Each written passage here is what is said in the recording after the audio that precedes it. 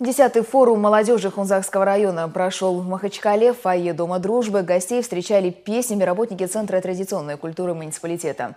Небольшая выставка изделий народных промыслов, пандуры, ковры, кувшины, серебряные изделия гацатлинских мастеров. Их при желании можно было приобрести.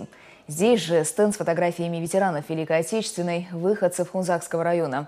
Его подготовили специально к 70-летию Победы. В районе в живых остались всего 8 участников тех событий. У нас, э, значит, акция, вот мы с администрацией вместе ходим, вручаем, значит, ордена, это участникам, уча, участникам э, тыла, вот, и плюс э, наши школы в каждом поселении ходят домой к нашим ветеранам, участникам, участникам тыла, ветеранам тыла и помогают, ну, оказывают помощь нашим ветеранам. Здесь, всего в 180 километрах от Махачкалы, хранится сердце этого прекрасного края – Матлас.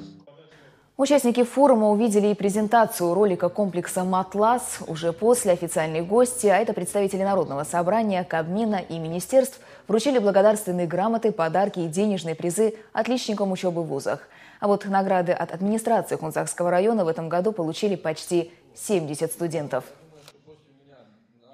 Студентов мы э, здесь поощряем, отмечаем наградами там, и э, значит, подарками от э, администрации. В общем, э, будут 71 человек будут награждены. 30 человек э, э, отличников э, будут награждены э, э, мини-айпадами. Остальные да, будут денежные призы. Это спортсмены и другие значит, наши студенты.